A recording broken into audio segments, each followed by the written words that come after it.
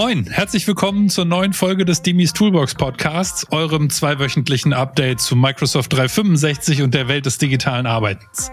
Mein Name ist Bastian Brunotte und zusammen mit unserem Experten Benjamin Tasche präsentiere ich euch die spannendsten Neuigkeiten, Tipps, Tricks, alles rund um M365. Viele von euch lesen bereits regelmäßig unseren Newsletter und holen sich da so ihre ja, regelmäßige Dosis News aus diesem, aus diesem Kosmos. Der Podcast liefert euch all diese Informationen jetzt endlich auch für unterwegs, im Auto oder beim Sport. Wir picken die relevantesten Themen heraus und bereiten sie in kompakter Form auf, damit eben auch ihr immer auf dem Laufenden bleibt. Freut euch auf Hintergrundinfos, gute Beispiele und natürlich auch auf unsere persönlichen Einschätzungen. Und jetzt viel Spaß mit der heutigen Episode.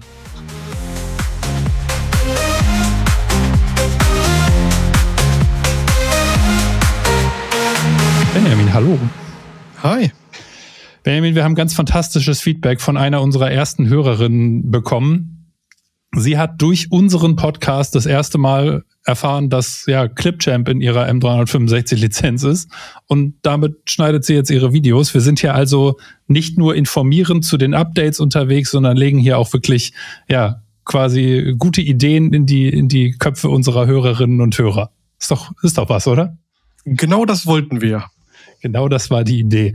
Aber dann lass uns gar nicht, äh, gar nicht viel über die Vergangenheit sprechen. Vielleicht haben wir noch ein paar neue gute Ideen zu verteilen. Was sind die Updates? Was ist passiert in den letzten zwei Wochen? Es ist ja gar nicht so, was ist in den letzten zwei Wochen passiert, sondern was passiert demnächst. Ähm, Stimmt. ich glaube, eins, wo extrem viele Nutzer drauf warten, ist Microsoft Teams äh, wir werden jetzt demnächst die Möglichkeit haben, den Allgemeinkanal umzubenennen. Juhu.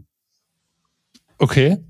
Also ein Team ist ja eine Gruppe von Leuten, die sich zusammengefunden hat, um irgendwas miteinander zu machen.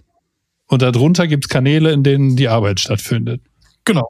Der allgemeine Kanal ist immer da, kann ich nicht löschen konnte ich bisher nicht umbenennen. Jetzt schon. Genau, die Fähigkeit wird jetzt demnächst kommen und so aus den Workshops, die wir bisher gemacht haben, ist es ja auch immer ein Feature gewesen, was sich gewünscht worden ist. Können wir die noch umbenennen? Genau das kommt jetzt. Genau das geht jetzt großartig. Ich bin ja ehrlicherweise ein Fan des allgemeinen Kanals. Ja, weil es gibt immer irgendwie allgemeines Gelaber zu besprechen, was sonst nirgendwo hinpasst. Das könnte der Ort sein, aber wenn ihr das gerne umbenennen wollt, dann kann euch auch Microsoft da jetzt nicht mehr dran hindern.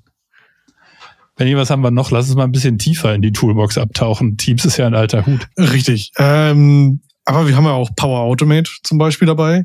Und für viele, die es nicht wussten, Power Automate ist auch in der Lage, Dinge auf eurem Bildschirm durchzuführen, ohne dass ihr jetzt irgendwie eine Webanwendung damit fernsteuern müsst. Und das war vorher immer so, dass wir dem Power Automate System gesagt haben, hier musst du hinklicken, hier fügst du diese Dateien an, dann klickst du hier auf Weiter und so weiter und so fort. Das hat ja aber immer dazu geführt, dass man den Rechner, an dem man selber sitzt, nicht mehr benutzen kann, weil der Bot sich da gerade durchklickt.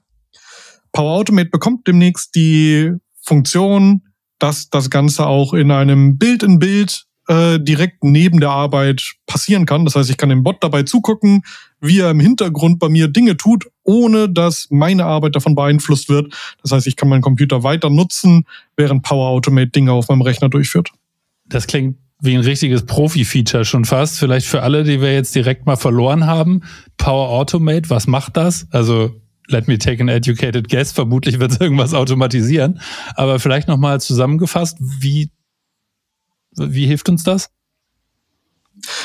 Power Automate ist ein Werkzeug in, äh, in, Microsoft 365, was wir dafür nutzen, wenn wir bestimmte Dinge haben in unserem Arbeitsalltag, die wir immer wieder machen, wie Daten von links nach rechts kopieren oder hier Dinge in Excel eintragen, die man irgendwo in einem anderen System gefunden hat.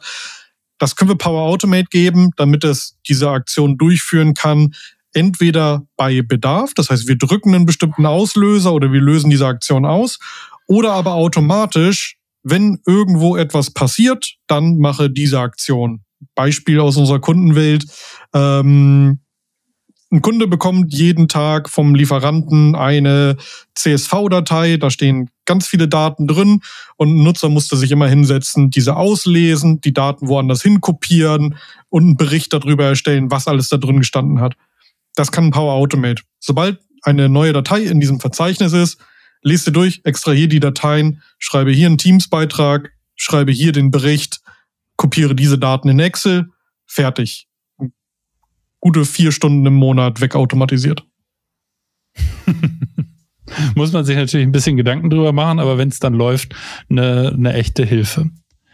Ein Tool, was ein bisschen, bisschen leichter zu bedienen ist, ja, ich sage eigentlich, wenn wir Trainings dazu machen, immer so, das ist was, das kannst du eigentlich auf einer, auf einer Zugfahrt dir mal eben irgendwie vielleicht beibringen.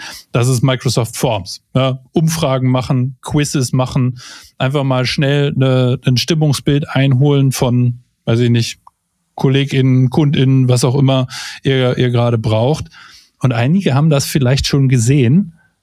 Da stand so jetzt neu mit Excel neuerdings bei Forms. Das ist eigentlich Quatsch, dachte ich, weil mit Excel geht ja schon länger. Aber das neue Feature hat eine ganz andere Bewandtnis, ne, Benny? Ich habe wieder nicht zu Ende gelesen. Genau, wir konnten vorher schon unsere Ergebnisse aus Forms in ein Excel-Dokument exportieren. Das war bisher aber immer nach Bedarf. Das heißt, wenn ich ein aktualisiertes Excel-Dokument brauchte, bin ich ins Forms gegangen, bin in die Ergebnisse gegangen, habe Export to Excel gedrückt und hatte dann ein Excel-Dokument. In dem nächsten Update wird es möglich sein, diesen Button einmal zu drücken und danach zu sagen, hey, halte mir dieses Excel-Dokument aktuell. Und was halt im Hintergrund passiert, Rückschluss zu dem vorherigen Patch, den wir genannt haben, es ist eigentlich Power Automate, was im Hintergrund dann wenn ein, neue, ein neues Formular abgeschickt worden ist, nimm das Ergebnis und füge es der Excel hinzu. So kann man auch Power Automate direkt nochmal miterklären mit einem guten Beispiel. Ähm, das macht Microsoft Forms dann jetzt demnächst automatisch. Gib mir mal einen Anwendungsfall. Warum kann ich das brauchen? Wenn wir eine Wissensabfrage zum Beispiel für ein Event haben und wir wollen jetzt nicht immer in Forms reingucken, sondern wir haben Excel-Dokument da liegen, wo unsere Teilnehmer stehen, was sie essen möchten, ob sie noch eine Begleitung mitbringen oder so. Und ich habe da vielleicht schon einen Power BI-Bericht drauf, äh, um mir das zu visualisieren.